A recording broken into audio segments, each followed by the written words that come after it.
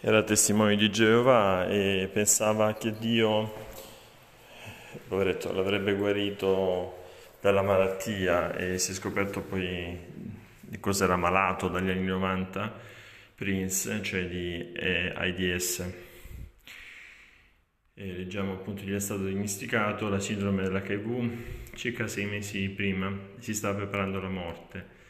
Le ultime sconvolgenti notizie arrivano da una fonte dell'ambiente discografico. Però ehm, in realtà questo risalirebbe agli anni 90, sapete che adesso fondamentalmente un malato di AIDS può vivere anche per molti anni grazie al mix di farmaci, no? di antiretrovirali, una cosa di questo tipo, perdonate se sono impreciso. E, ehm, quindi chiaramente era molto sì, indebolito, mangiava raramente e non riusciva a trattenere il cibo.